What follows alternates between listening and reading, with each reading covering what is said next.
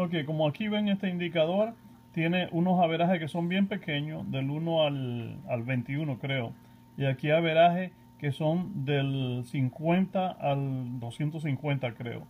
Cuando se cruzan, ustedes ven lo que hacen. Se forma un arco iris. Bueno, aquí ya hubo una penetración hacia arriba y después continúa. Y así es como podemos ganar aquí en opciones de 5 minutos al, al que va subiendo que gane. Entonces aquí como que trata de penetrar pero no puede y entonces continúa subiendo.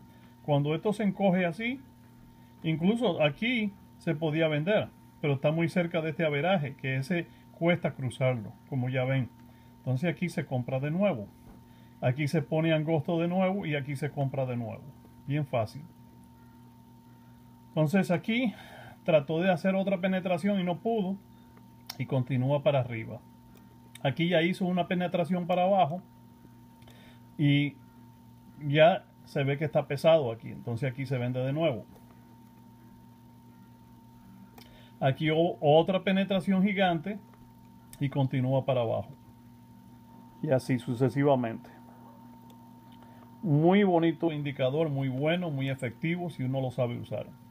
Aquí como ven, una vela indicando que va a haber penetración para abajo que incluso eh, baja de aquí. Vamos a ver cómo se ve en, en barras. Sí, efectivamente. Terminó más bajo que aquí. O sea que ya hubo una penetración. Aquí ya es para vender.